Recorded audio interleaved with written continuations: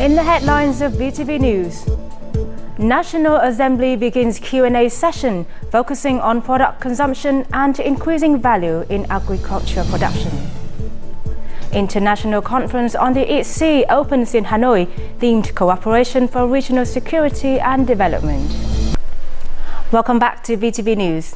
The 11th International Conference on the East Sea launched in Hanoi on Wednesday under the theme Cooperation for Regional Security and Development. Latest developments in the East Sea show several complicated factors, the increasing frequency of military exercises and friction in the sea, oil disputes and the escalation of fishing competition in many areas.